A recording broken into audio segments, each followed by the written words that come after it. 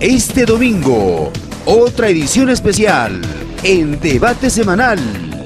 Los compañeros nosotros nos dio y nos dijo, qué bonito, miren, y nosotros lo cogimos en su mano y lo tuvimos en nuestra mano.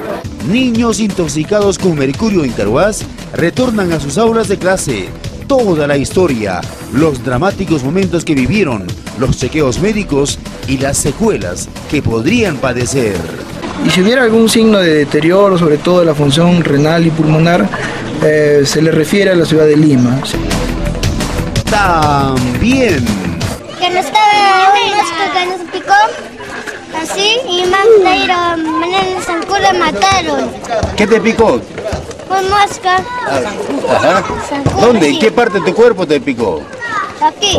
Impresionante plaga de vectores amenaza población en Pariacoto, Conozca los testimonios de los alumnos, quienes ya no soportan la presencia de estos insectos, el desesperado llamado de los ciudadanos y el clamor de su alcalde. Hoy día vamos a terminar todo esto, y, pero los zancudos en la población no se puede controlar.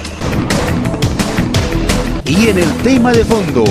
Nosotros siempre como dirigentes hemos estado atrás, atrás de todo este asunto, pero siempre hemos visto tal vez cierta lentitud. Centro de Abastos, hoy o nunca las reuniones de concertación entre el alcalde, sus funcionarios, el comité técnico y los propios comerciantes, buscándole solución a los problemas. De una vez exigir al, gobierno provincial de la compra de terreno para la construcción del centro de abastos. Debate semanal, este domingo, ahora en su nuevo horario, 7 de la mañana.